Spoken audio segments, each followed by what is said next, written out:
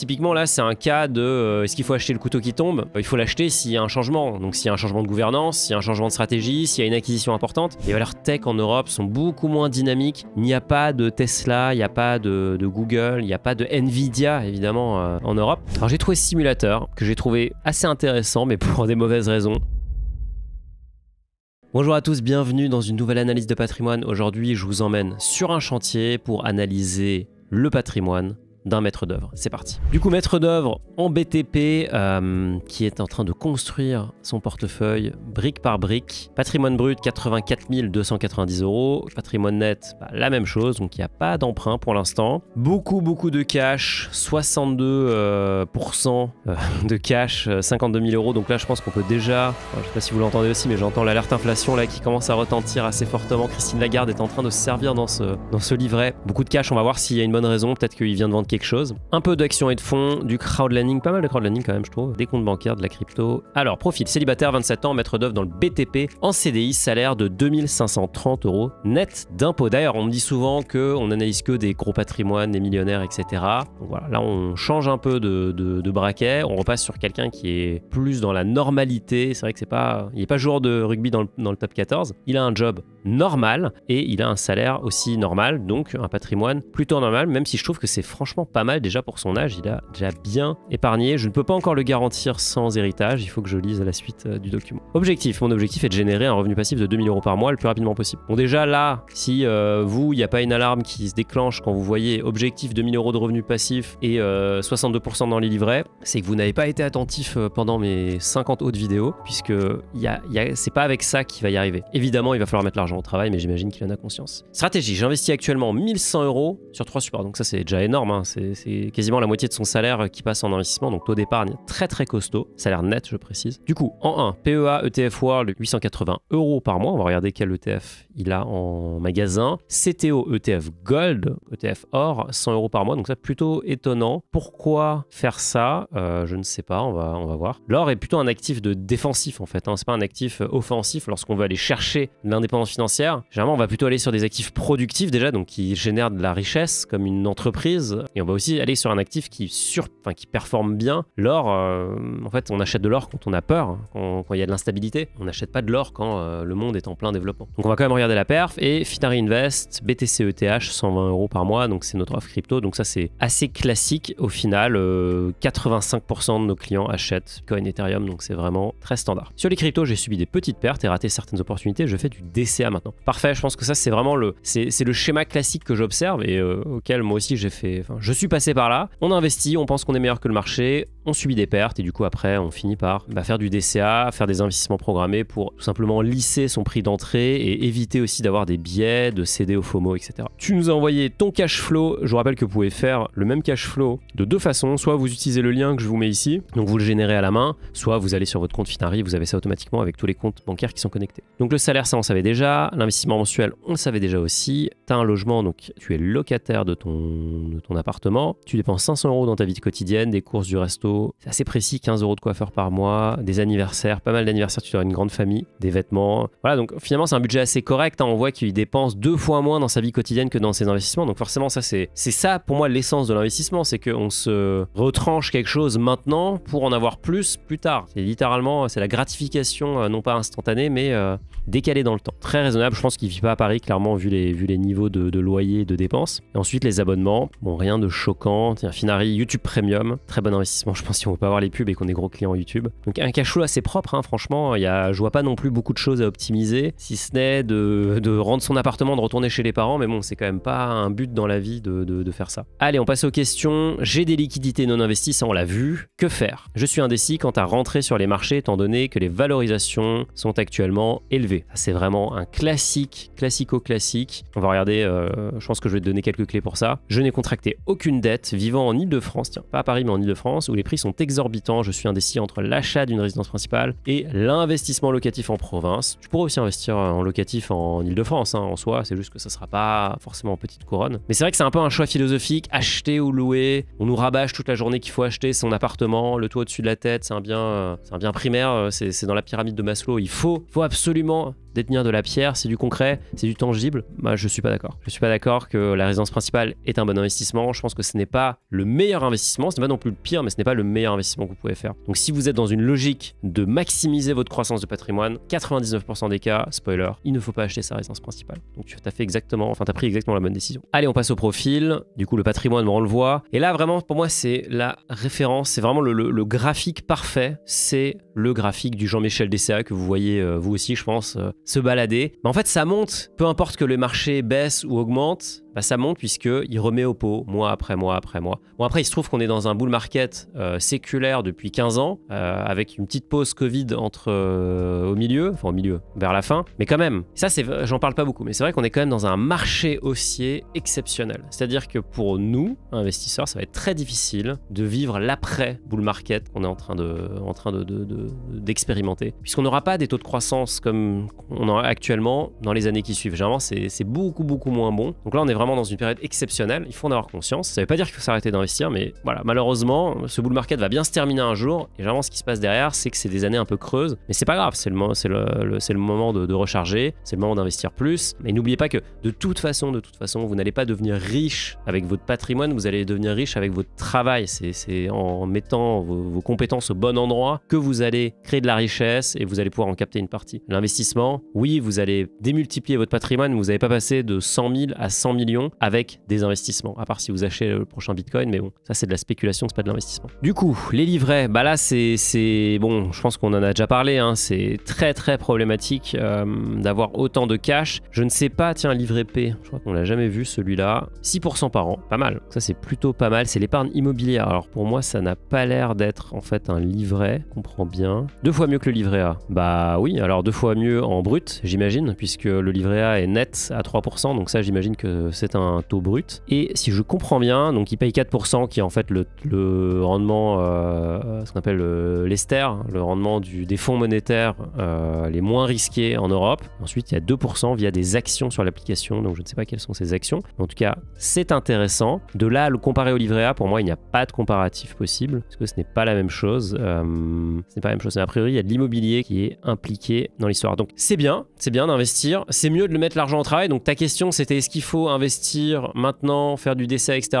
Bon, je pense que j'en ai déjà pas mal parlé, mais concrètement, si tu fais un euh, lump sum, c'est-à-dire tu fais un investissement one shot maintenant du euh, des 50 000 euros par exemple que tu as ici, eh bien statistiquement, tu as plus de chances de surperformer qu'en faisant un DCA. Tu as 68% de chances en fait de battre un DCA que tu déploierais sur, on va dire, un an. Donc ça, ça a été prouvé par pas mal d'études. J'ai fait un thread d'ailleurs, je vais vous mettre le lien ici, sur ce sujet parce que je pense que ça, ça crée pas mal de confusion. Donc oui, le lump sum est statistiquement plus rentable, mais oui, le DCA est psychologiquement plus agréable. Et vous n'êtes pas des robots, moi non plus. Donc l'objectif, c'est pas de faire la chose qui est statistiquement la plus euh, rentable, c'est de faire ce qui vous rend le plus à l'aise. Là, tu as 50 000 euros. Si demain tu mets 50 000 euros et le marché perd 10% puisque tu as investi la veille d'un crack boursier, peux t'assurer que tu vas pas endormir pendant des semaines. Donc t'as pas envie de te mettre dans une situation comme ça. Peut-être que le plus simple, c'est de lisser ton point d'entrée et d'investir sur 12 mois. Tu te mets un objectif, tu fais 12 mois, 5 000, pas 5 000 euros du coup, mais 4 000 euros par mois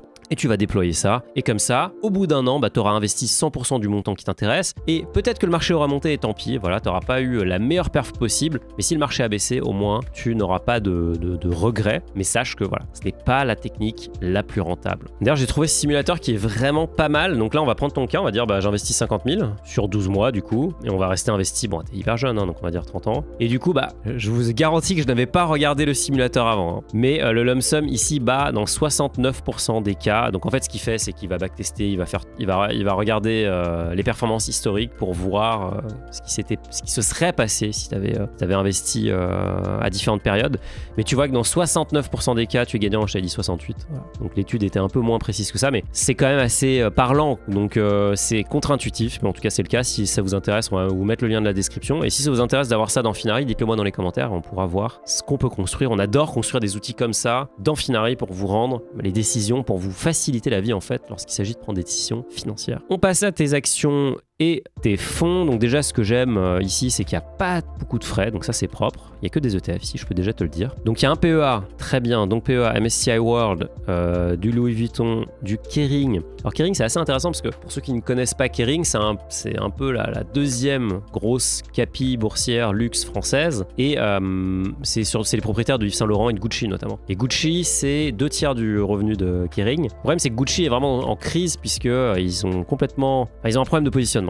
Le positionnement n'est plus le bon et euh, les ventes de Gucci baissent. Elles ont baissé 18% au dernier trimestre, il me semble. Et ça, ça impacte fortement Kering puisque c'est deux tiers de leurs ventes et c'est euh, la moitié de leur profit. Donc Kering est un peu dans la tourmente. Il y a pas mal de on dit sur le fait que bah, la gestion de Kering est moins bonne que celle de LVMH. Et Kering, c'est la famille Pinot, LVMH, c'est la famille Arnaud. Et c'est vrai que de ce qu'on entend, c'est que Kering, c'est peut-être géré de façon un peu moins, euh, j'ai envie de dire, euh, visionnaire que LVMH. Et donc, le titre est très sanctionné en bourse. Ça fait moins 40% sur un an. Si vous regardez la trajectoire de, LVMH dans le même temps, bah, c'est pas la même ambiance. C'est vraiment deux salles, deux ambiances. Le luxe est en difficulté de toute façon. Donc, c'est peut-être pas forcément le moment d'acheter du luxe, quoique si les prix sont intéressants. Mais en tout cas, Kering est en difficulté. Typiquement, là, c'est un cas de euh, est-ce qu'il faut acheter le couteau qui tombe? Bah, j'ai envie de vous dire, il faut l'acheter s'il y a un changement. Donc, s'il y a un changement de gouvernance, s'il y a un changement de stratégie, s'il y a une acquisition importante. Là, en attendant, tant que c'est la même famille qui dirige, il n'y a aucune raison que ça change, euh, tant que c'est la même stratégie, autant attendre et ne pas se positionner. Le titre, lui, de toute façon, ne fait que dévisser. Donc, plutôt intéressant. Bon, il y a de l'overlap entre ton MSCI World et ton S&P 500. Je rappelle que le MSCI World, c'est 60%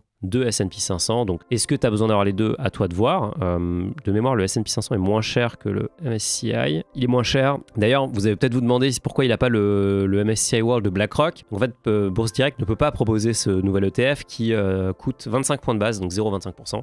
Pourquoi ils ne peuvent pas le proposer? Parce qu'ils utilisent, bon, c'est vraiment des technicalités, mais ils passent par Euroclear France pour le règlement de le règlement livraison des titres. or, Euroclear France ne, ne clear que des usines français, alors que Euroclear Bank, qu'utilise euh, par exemple Boursorama, clear aussi des usines euh, irlandaises, qui est le cas de ce faux. Voilà, technicalité hyper inintéressante, mais c'est pour ça que Bourse Direct n'a pas de, pas de BlackRock. Donc c'est un peu plus cher, mais bon, ça reste quand même des fonds très très attractifs. D'ailleurs, bon, réflexe de prendre, de faire du stock picking sur des actions européennes dans un PEA. Je vois souvent du stock picking sur des actions européennes dans un compte titre. Ça, faut éviter, sauf si votre, votre PEA est plein. Faites-le dans le, dans le PEA parce que vous allez profiter d'une fiscalité beaucoup plus douce. Du coup, derrière, bah, il y a du Tesla, du Uber UBS, intéressant, euh, et euh, du First Republic, qui est une banque américaine. Mais là, ça m'a l'air d'être un certificat ou quelque chose comme ça. Je pense pas que ce soit un titre, euh, donc peut-être un dérivé. Donc pourquoi pas, pourquoi pas faire du stock picking. moi, j'ai rien contre, hein, c'est toujours intéressant. Et après, il y a un deuxième compte titre, donc là, pas forcément hyper logique d'avoir plusieurs comptes titres, sur lequel il y a du Amundi S&P 500. Donc là, j'avoue que je ne vois pas du tout l'intérêt pour le coup, parce que c'est littéralement, alors c'est pas exactement le même, mais en fait, c'est quand même quasiment la même chose. en plus, c'est encore pire, j'ai envie de dire, c'est un distributing, donc c'est un ETF qui verse des dividendes. Qu'est-ce qui se passe? À chaque fois, tu vas devoir payer à la flat tax 30%. Donc euh, bon, peut-être que ce compte titre là, il est un peu superflu, tu ferais mieux de rebasculer les fonds ici dans ton PEA et euh, de garder ça au sein de l'enveloppe, que ça puisse capitaliser sans passer par la case impôt. Ça c'est vraiment, euh, c'est vraiment intéressant. D'ailleurs, pas d'assurance vie. Alors t'es jeune, t'as pas d'enfant a priori, je crois que tu es célibataire, voilà. Donc pas forcément d'intérêt dans l'immédiat pour l'assurance vie, mais c'est bien de prendre date. Moi j'aime bien quand les gens prennent date tôt et tu mets le minimum 100 euros, enfin je sais pas, ça dépend de l'assureur, mais 100 euros ou 200 euros et derrière tu ne fais rien. Mais au moins tu as pris date et euh, tu lances le compte à rebours des 8 ans qui euh, permet de débloquer l'avantage fiscal. L'assurance vie, ça reste comme une enveloppe qui est euh, hyper plébiscitée. Il y a 44 millions de contrats ouverts en France contre 6 millions pour le PEA. Donc clairement, on parle beaucoup du PEA, mais en fait, le PEA n'est pas du tout le contrat le plus populaire. Il y a beaucoup de, il y a de grandes, fortes chances que si vous demandez aux générations de vos parents s'ils ont un PEA, ils en ont pas. Par contre, l'assurance vie, à 100%, ils en ont une. Même le nom assurance vie, enfin, je pense qu'il est, il est rassurant. Le nom est complètement déceptif d'ailleurs. Ça reste comme une enveloppe qui est moins intéressante que le PEA. Pourquoi? Parce qu'en fait, il y a toujours des frais dans les assurances vie. Toujours, toujours, toujours. Vous payez les frais de contrat. Après, vous êtes limité dans le choix, mais ça aussi sur le PEA en termes d'instruments, ça dépend de l'assureur. Par contre, vous pouvez pas que investir en actions, vous pouvez investir en obligations, en private equity, en SCPI, en tout ce que vous voulez, en produits structurés. Après, vous avez des avantages fiscaux attachés, mais en fait, les avantages, ils sont pas si intéressants que ça à part sur la, transmission, enfin la succession. Donc moi je préfère largement le PEA, voire le compte titre après, euh, parce qu'en fait le compte titre, il n'y a pas de frais si vous prenez un bon compte titre chez un courtier euh, compétitif en ligne, vous n'avez pas de frais et ça les frais, bah vous le savez maintenant, euh, année après bah, c'est les intérêts composés dans le mauvais sens. Donc oui assurance vie c'est intéressant, mais ça reste quand même une enveloppe un peu surcotée à mon sens. D'ailleurs je vois pas l'ETF Gold là, donc peut-être que tu, soit tu n'as pas finalement pas fait ce choix, soit tu as, tu as, tu as vendu la ligne. moi je trouve ça pas forcément une mauvaise nouvelle de pas faire d'ETF Gold. Bon comme d'habitude on s'est amusé à regarder les corrélations de ton patrimoine, pas vraiment de surprise, hein. le S&P 500, le MSCI World c'est hyper corrélé, donc forcément ça n'a aucun intérêt, vraiment je le dis, ça n'a aucun intérêt d'avoir les deux. Alors que au contraire le MSCI World et Kering typiquement c'est un peu moins corrélé. Tiens on va regarder Kering et euh, MC, donc c'est LVMH. Kering et MC ne sont pas si corrélés que ça parce que forcément la trajectoire de Kering bah, c'est un peu euh, un crash, euh, un crash au ralenti, donc forcément c'est un peu moins corrélé, même si ça reste quand même deux boîtes du luxe. D'ailleurs, vu que tu as du S&P 500, bon, je l'ai dit assez souvent déjà, je préfère le S&P 500 au MSCI World. Je trouve que c'est plus risqué parce que forcément on s'expose au dollar et à l'économie américaine de façon très très forte. Mais bon, après, voilà, les, les, stats en fait sont, sont juste euh, terribles pour l'Europe. Là, vous regardez ici à droite euh, la, performance du S&P 500 euh, contre l'Eurostock 50 qui est l'indice principal. On aurait, mais on aurait pu prendre l'Eurostock 600, ça aurait été pareil. Vous voyez que l'Eurostock 50 fait un bon, fait, fait pas mal hein, finalement il fait, il fait x2. Le S&P 500, euh, il fait x5, x6 quasiment, x5,5 sur la même période. Donc il se fait détruire, le l'Eurostock se fait détruire par le S&P 500. Pourquoi? Parce qu'il y a les valeurs tech. Évidemment, il y a les valeurs tech dans, les, dans, les, dans le S&P 500. Les valeurs tech en Europe sont beaucoup moins dynamiques. Il n'y a pas de Tesla, il n'y a pas de, Google, il n'y a pas de Nvidia, évidemment, euh, en Europe, malheureusement. Alors il y a du ASML, hein, qui est, qui est le, fournisseur, enfin le fabricant des machines qui permettent de construire les, les, les semi-conducteurs. C'est un monopole de dingue qu'ils ont, 80% du marché. Mais ça reste comme une boîte assez old school et surtout il n'y en a pas 50 des boîtes comme ça. Et donc ça c'est vraiment le problème fondamental de l'Europe, c'est qu'on n'est pas un continent d'innovation et les entreprises qu'on a, en tout cas on est un continent d'innovation, mais les entreprises qu'on a sont trop petites. Euh,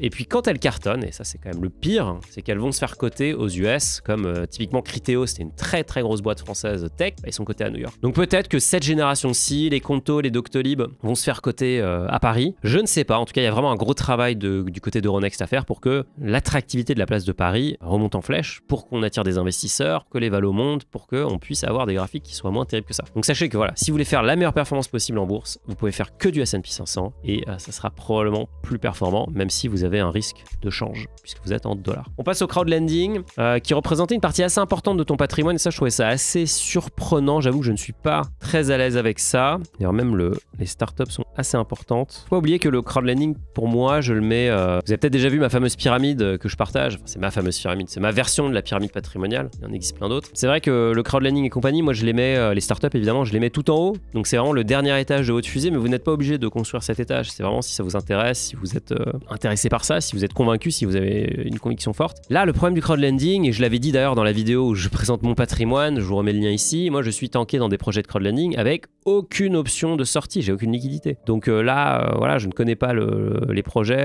la première brique, bon, je connais la plateforme, je ne connais pas les projets spécifiquement. On voit les rendements sont sympas, 14%, hein, 11%. Le problème, c'est quand on est tanké dans un projet, on est tanké dans le projet. Quoi. Donc on ne peut pas sortir, on n'a aucune liquidité, on ne sait pas si euh, l'opérateur ne va pas faire faillite ou quoi. Donc euh, il y a un risque de perte en capital. Euh, je pense que ça a très bien marché quand les taux étaient bas et qu'il y avait beaucoup de transactions immobilières. Aujourd'hui, le marché de l'IMO, je vous le dis, est à l'arrêt total. Il n'y a, plus d'investisseurs institutionnels qui se positionnent. Donc c'est vraiment, je vous décourage, vraiment, je, je, le dis rarement, mais je vous décourage fortement de faire du crowdlending maintenant pour ce marché parce que c'est extrêmement dangereux, extrêmement dangereux, et je pèse mes mots. C'est vraiment, c'est vraiment une classe active qu'il faut manier avec précaution. Donc là, euh, j'espère que ce sont plusieurs projets que tu as, parce que sinon, il y a un vrai danger de concentration. Bon, je crois que c'est le cas sur la première brique où les, tickets moyens sont beaucoup plus petits. Mais en tout cas, me GF3, voilà, il y a un risque. Donc, à voir. Moi, euh, Marocco ici, ce serait de pas renouveler. Donc, si quand tu feras ton cash out, ce que je te souhaite, euh, quand tu, tu, tu, te feras distribuer ton cash, peut-être plutôt investir en bourse, voire faire autre chose, voire faire de la crypto, au moins c'est liquide. Mais ne pas repartir sur quelque chose qui est aussi illiquide et euh, très très corrélé quand même au marché de l'IMO. Les startups, donc t'investis en startup, pareil, les startups, c'est vraiment si vous aimez les startups, que ça vous intéresse, que ça vous passionne, que vous voulez euh, mettre un petit billet dans une boîte euh, dans laquelle vous croyez, comme, comme l'ont fait 1000 de nos clients en 2022 lorsqu'ils sont devenus actionnaires de Finari, faites-le, mais faites-le dans la mesure du raisonnable. D'ailleurs, c'est pour ça qu'on a limité aussi la taille du ticket à 5000 euros, parce que moi je voulais pas que des gens mettent une partie importante de leur patrimoine. Ça reste quand même une activité à risque, alors ça peut être très lucratif, et on, fait tout pour que ça soit lucratif, mais ça reste quand même un danger. Et donc là, on voit que tu investi dans Rania Rock Energy Drink. Bon, je ne suis vraiment pas client de ces, de ces boissons, boissons-là. Je suis vraiment pas client de, de, boissons. Mais bon, c'est incroyable. Red Bull, euh, j'en parlais avec une amie ce week-end, c'est un, un, truc de dingue l'histoire. C'est fou, c'est une boîte hyper rentable. Il y a Monster aussi qui cartonne. Donc pourquoi pas faire la version française? Bon, j'imagine que tu aimes bien les produits et que du coup, tu as, as, une conviction forte. En tout cas, encore une fois, à manier avec précaution, lorsque vous avez peut-être des insights sur la boîte, là c'est intéressant. Sinon, honnêtement, moi je vous déconseille de faire de la startup. Vous n'en avez pas besoin, surtout si vous voulez pas vous prendre la tête. Crypto, alors, qu'est-ce qu'on a là? On a du Binance. Euh, on voit qu'il y a